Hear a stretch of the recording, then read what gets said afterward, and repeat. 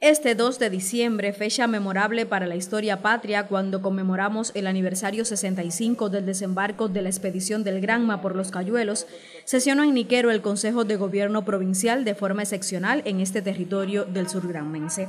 Autoridades del sistema del Poder Popular de los 13 municipios y representantes de diferentes entidades y organismos gubernamentales analizaron durante el encuentro varios temas de impacto para el desarrollo socioeconómico de esta provincia oriental, el cual estuvo presidido por Federico Hernández Hernández, primer secretario del partido en Granma, y Francisco Escribano Cruz, gobernador provincial. En la cita se intercambió acerca de la actualización del sistema de asentamientos humanos en Granma, así como el plan para 2022 de la categoría empleo y salario en entidades presupuestadas y de la producción y los servicios. En torno al tema de la atención brindada a los planteamientos de los electores por rendición de cuentas y despachos, se analizó el sector de comunales. En este ámbito se hizo énfasis en la importancia de seguir las opiniones del pueblo y hacer un análisis profundo de los planteamientos para evitar la acumulación de mayores deficiencias en las comunidades más vulnerables e ir resolviendo las problemáticas desde el barrio. Se trata de hacer lo que se puede en cada lugar y en otros atender diferente lo que está relacionado con planteamiento de necesidad sentida y convocar a todo el mundo a solucionarlo.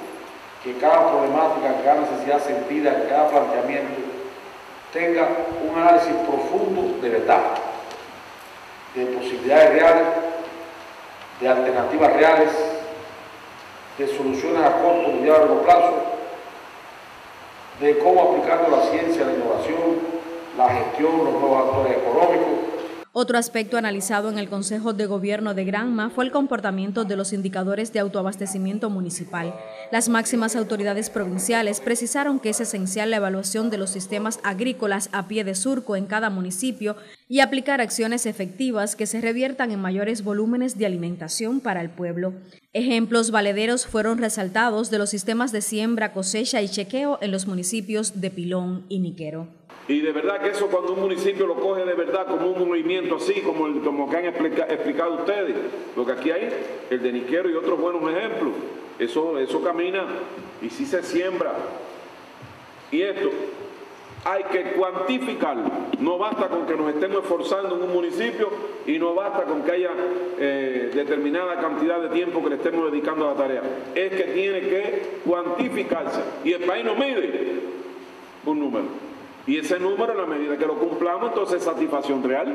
Al concluir el Consejo de Gobierno Provincial este 2 de diciembre, Federico Hernández Hernández, miembro del Comité Central del Partido y su primer secretario en Granma, felicitó a las autoridades niquereñas y al pueblo de esta localidad costera por la trascendencia y calidad de las actividades efectuadas como saludo al aniversario 65 de la epopeya del Granma.